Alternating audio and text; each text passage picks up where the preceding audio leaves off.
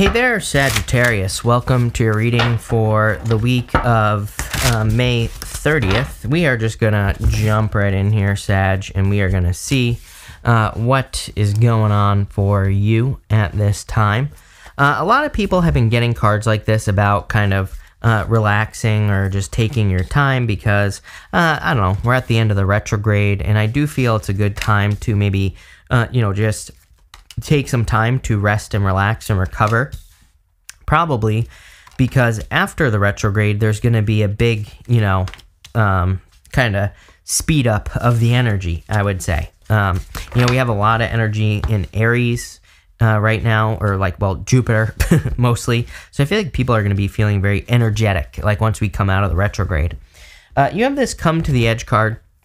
This card kind of says go to the point where you would normally give up on something and go a little bit further. I feel major deja vu. I'm it might have been you that had this in your six month reading. Um, next six months. I can't remember if it was you or someone else. But um, you know, I get that energy for you where I feel it would be a good time to kind of push past the point where you would normally quit on something or give up on something. I'm mostly referring to uh, like projects or careers or jobs. You know, if there's like if there's a certain point where you get to and you normally give up, I feel like success is on the other side of um, kind of that point. You have the Five of Pentacles the Five of Wands and the Page of Wands here. I feel, um, I don't know, I feel like everybody feels this way. Obviously, we have like, you know, inflation and like all this other crazy stuff going on in the world, right? And so I feel people kind of feel left out as far as finances are concerned with the Five of Pentacles. I feel like people are kind of feeling a little bit like they wish they had something. and so I feel like you're feeling this energy. The good news is you have the King of Pentacles and the Five of Wands. I mean, the the uh, King of Pentacles and the Ace of Wands in that top row. That tells me that you're coming up with better ideas on how to uh, create success, right?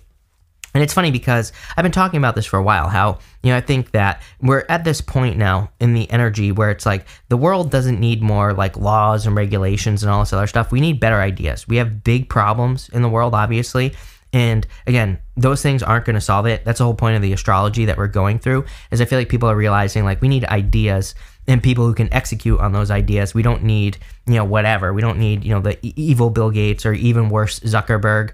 Ugh, right? My arch nemesis. We don't need him coming to our rescue. Um, because you know I don't know I don't know about you, but Zuckerberg doesn't even look like someone who he looks like someone who wears Velcro shoes, right? Let's just put it that way. And so I feel for the most part, we're realizing that we need better ideas. Uh, the problem is competition. Uh, five of wands. So again, I feel like all of us we need to push through um, barriers, right? I keep telling people don't break the law, right? Um, obviously, but there are ways that maybe we can bend the rules or get around the rules. And again, that's where true genius is going to be discovered at this time.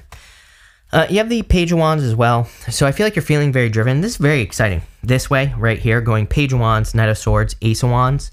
That is like rushing towards some really something really great. I always tell people that um, I love big problems. Um, it's like you know listening. Uh, you know I've been listening to Esther Hicks, Abraham Hicks for years now, and it's like one thing that um, Abraham always talks about, right? Is big I, big problems attract big solutions, right? So ever since you know I really kind of got that into my brain, I was like, man, I, I love big problems um, in my personal life, right? Because I've been able to attract some pretty big solutions or come up with some big solutions, and I think once you have that mindset shift then it's like you really can, you know, move mountains, plain and simple. And I feel like you're getting to that point here, Sagittarius, where you're not so much thinking like, oh, this is a big problem. I feel like you're saying, what, you know, how can I find form a solution to something? And uh, pretty good. You have this occupation card. I do feel like some of you, uh, if you're having problems with your money, plain and simple, you could be getting a new job, starting a new business, uh, or doing something different. You know, it's really funny to me.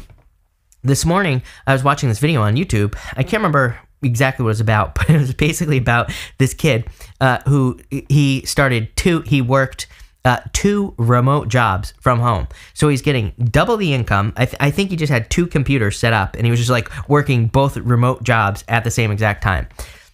Kind of interesting because, you know, it's like he basically was getting a double income just working like eight hours a day, right? And he, he kind of figured out basically that he really, each job only kind of took a certain amount of time. And he's like, if I just focus, you know, I'm, basically sitting here doing one. So it's like, why not do two? I have enough. I have enough hands. I get I get enough free time with both where I can kind of work on both and get paid double. And you know, I kind of feel that these are things. I'm not suggesting people are going to work two jobs. I don't think working harder is necessarily the answer. I'm just giving you an example of some of the things that I think people are starting to discover. Right? I think I feel people are getting very creative um, with this stuff. And again, if you have any ideas like this, might be something you want to look into. I'm not saying like that, but you know, I'm just saying. Uh, you have the King of Pentacles, the Knight of Swords, and the P- Knight of Cups.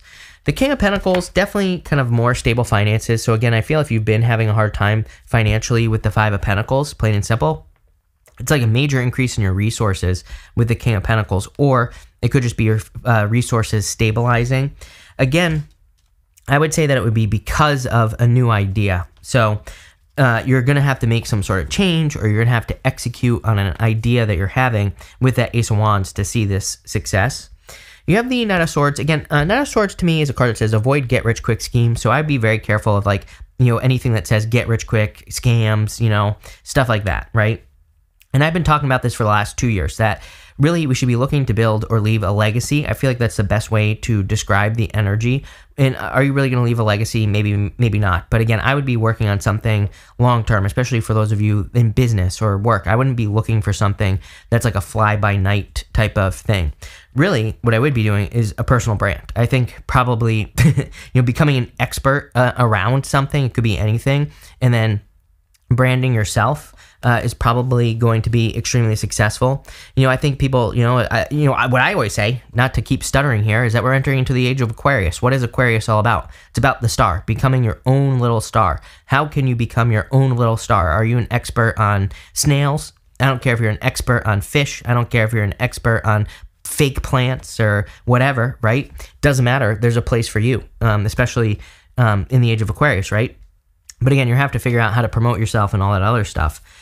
Uh, I would also say that building momentum with this right here, the Knight of Swords and the Ace of Wands are both cards of building momentum, which means that you don't stop.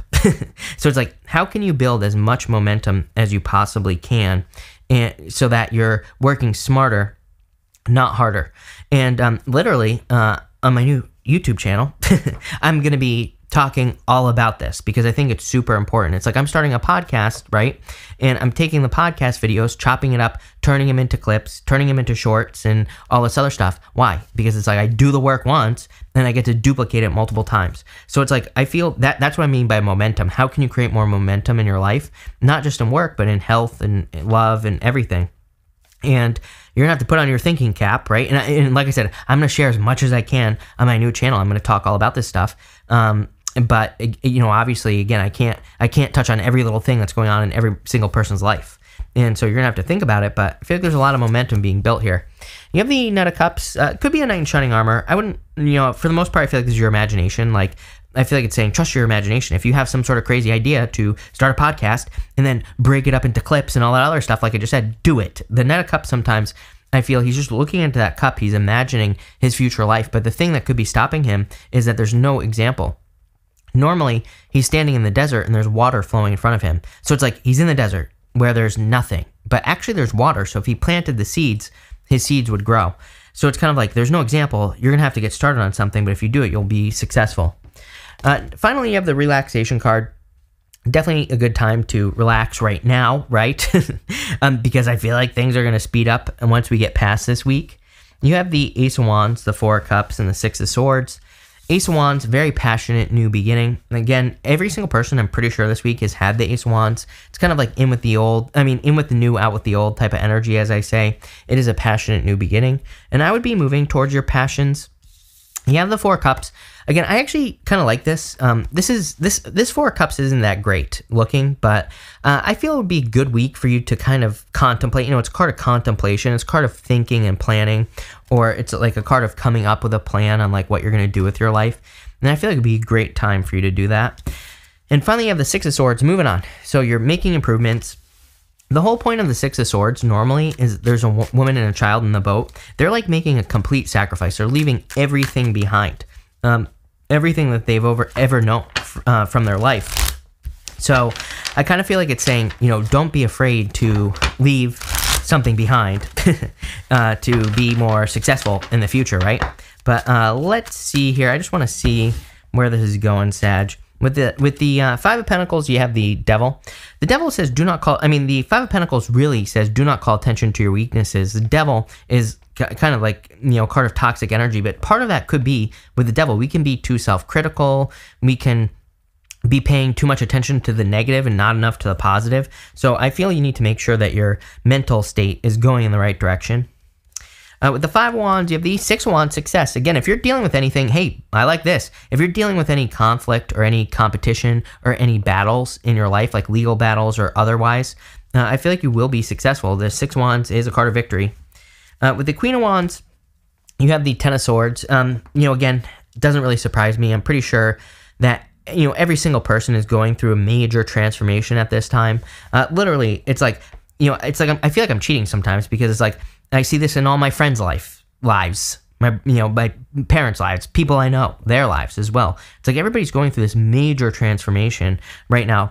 And again, I don't think we've ever had a time like this in history where it's like every single person is going through some crazy, wild, insane change, right? and um, so I just I just think that it's saying embrace the change, right? Embrace it.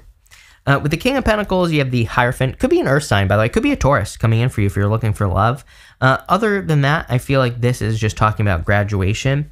The uh, Hierophant, he has three levels to the crown on his head, and the three levels represent uh, um, initiation, apprenticeship, and mastery. So it's kind of like you're mastering something. King of Pentacles is the master of something, right? So I feel if you're like mastering any skills, if you're thinking about going back to school to master a skill, uh, that would be a very good idea with that Ace of Wands. With the Knight of Swords, you have the um, Emperor. I'm, I'm at a loss for words. Uh, you have the Emperor. Emperor's been coming up as well. I really feel that people need to have the guts to follow a plan. Like if you come up with a plan in your head to do something, I would just do it. I think there's too much of this future thinking thing. Um, where it's like you could be thinking like me you know it's like i've been thinking about starting this podcast for like over a year now and it's taken me forever but it's like for whatever reason my brain for like the longest time has kept being like, yeah, but if you commit to this, you're going to be married to it forever, you know? And like, I, I, you know, I don't know about you, but just uh, me, I reject that. i'm like, I'm the type of person where I, I, I just don't like committing to, I don't know, I'm a, I'm a, I'm a, I'm a Pisces, right? Do I need to say anything else? Probably not. But I feel that energy for everyone where it's like, I feel like people are having a hard time committing to the future plan. I think what we need to do to correct that is to just realize, no, you're just doing this for right now. You know, you're just trying it out. You're just seeing how things go. You, you're not going to be stuck doing this forever if you if you don't want to do it, right? But I would stick to the plan. With the Knight of Cups, you have the Two of Swords. Uh, whatever you believe to be true is true here, Sagittarius. You know, again, there's this new island behind her. She needs to get to that new island, but um, you know, she needs to get out of her head. She needs to put her swords down, take her blindfold off. I feel like you need to realize, and everybody needs to realize, that the new world exists right now, and we just need to kind of come to the edge, like your first card there, to experience the new world, to step into it. With the Ace of Wands, you have the Ten of Pentacles. Um, love it. Are you kidding me? uh, you know, success. It's funny that I was talking about building or leaving a legacy. Here you go. Card of building or leaving a legacy. Definitely a lot of financial success. Again, this is a major financial change for you. I would say if you're doing anything new or if you're planning on doing something new but you're hesitating, I wouldn't hesitate. I would do it. I feel like you're going to be very successful. Uh, with the Four of Cups, you have the Eight of Cups. Uh, Eight of Cups is like walking away from something that no longer serves you. Uh, I feel like we're all doing this. And again, like I said, I have so many people in my life that I feel like are going through this type of change. It almost feels like cheating to me, like I said, where it's like I feel like a lot of people are walking away from certain things that are just sucking them down so that they don't get stuck, right? And again, I don't think tarot should tell you what to do. I think tarot is loose guidance at, at best. I always tell people, you know, take this with a grain of salt, right? But what I would say is I feel like it's really important that we look at certain cycles in our life. And, um, you know, I, I feel like it's important that if we feel like staying in something that we kind of maybe feel isn't right, I feel like we need to look at the situation. We need to be honest with ourselves and say, does this look like something from the past? And if it does, we need to leave. And, you know, that's my best advice. and what I mean, it could be anything. It's like maybe you were in a, an abusive relationship in the past. Maybe you're in a relationship now. Maybe it's not abusive, but maybe the person has certain things. Maybe they do certain things that kind of are abusive, right? It's like we might be in a situation right now that looks similar but isn't exactly the same as something from the past. And I feel like the this is saying, are you going to stay? Did you learn the lesson the first time, or you know, what's the deal here? with the Six of Swords, you have the Queen of Wands. Yep, definitely time for you to be bold, assertive, and to charge forward towards uh, the Ace of Wands and the Ten of Pentacles, right?